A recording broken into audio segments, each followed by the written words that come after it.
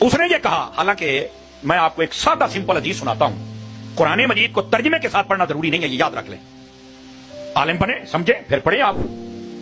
اگر کوئی کہتا ہے کہ ترجمے کے ساتھ پڑھنا ضروری ہے، میں اس جاہل اور اس کے جتنے باپ ہیں کمینے میں ان سب سے کہنا چاہتا ہوں، اگر کوئی اس کا چمچا کڑچا یہاں بیٹھا ہے، وہ بھی غور کرے، میرا کلپ ریکارڈ کر کے پیو کا لو انہوں قاعدہ جواب دے۔ الف لام میم، اس کا کوئی مائی کلال مجھے ترجمہ بتائے کیا یاسین، اس کا کوئی ترجمہ مجھے بتائے۔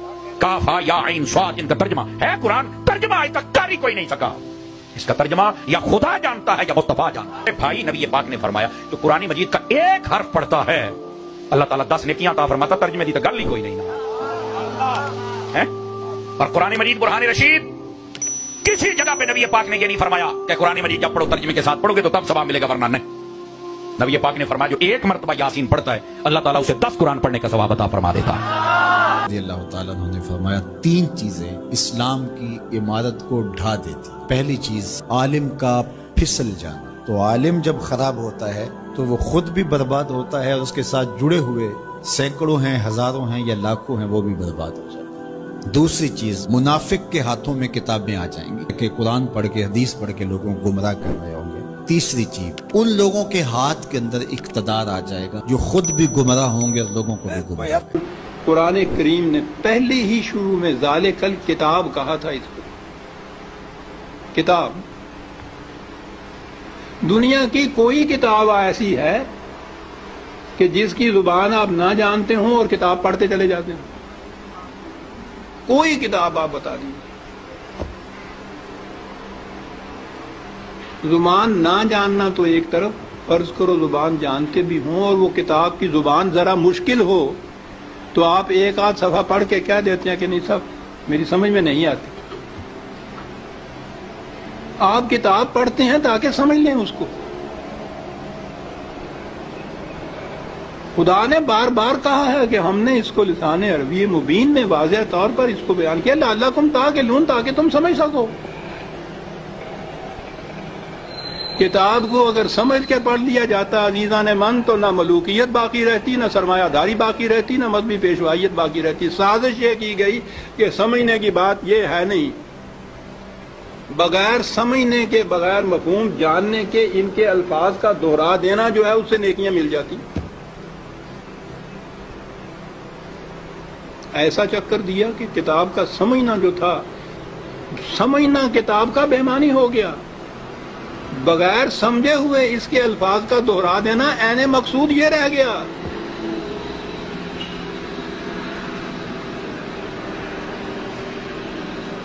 اعلیٰ سے اعلیٰ درجے کی کسی طبیب حکیم کی فلاسفر کی نسخ، نسخوں کی کتاب، ہر مز کا نسخہ جہاں لکھا ہو اس کے اندر، آپ اس کو سمجھے نہیں اس زبان کو، اور وہ نسخے زبانی یاد کر لیں۔ اور صبح اٹھ کے ان کو نسخوں کو رٹتے رہے شام تک بولتے رہے کچھ پتہ نہ ہو آپ کو کہ سونف کسے کہتے ہیں، ترنجبین کیا ہوتی ہے۔ اور پڑھتے چلیں۔ کیا مرض کی شفا مل جائے گی اس طرح سے؟ اس کتاب کا مصرف مقصد پورا ہو جائے گا؟ میں نے کہا ہے ابھی کہ ہے کوئی دنیا میں اور کتاب جس کے ساتھ یہ کچھ آپ کرتے ہوں۔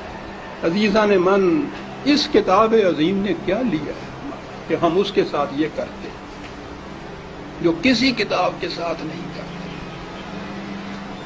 یہ سب اس لیے کہ یہ سمجھ میں نہ آ جائے کہیں۔ ہو نہ جائے آشکار شرح پیغمبر کہیں۔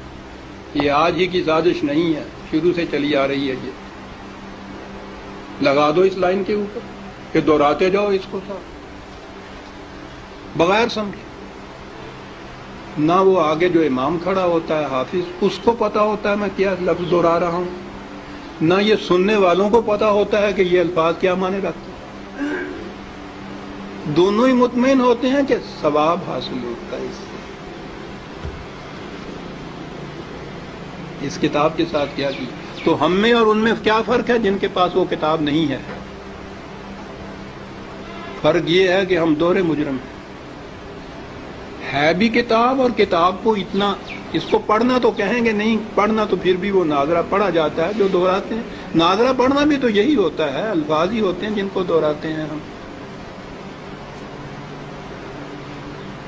یہ کتاب ہدایت تھی۔ یہ وہ نقشے اس میں دیے ہوئے تھے کہ فلان دوراہے پہ پہنچو تو دائیں کی طرف مڑ جاؤ تو اس طرف جاؤ گے، بائیں کی طرف کا راستہ اس طرف چلا جائے گا۔ نہیں سمجھتے اس کو؟ ہر مرض کی شفاعت تھی اس میں۔ دوہرائے چلے جا رہے یہ ایک پورا ریلا حفاظ جسے کہتے ہیں، صرف حفظ کیا ہوا، کچھ معنی نہیں جانتے۔ اسی میں وہ پھر قاری آ جاتے ہیں، حفظ بھی کیا ہے، پڑھتے بھی ہیں، پھر قرت کے ساتھ گا گا کے پڑھا جاتا ہے۔ اس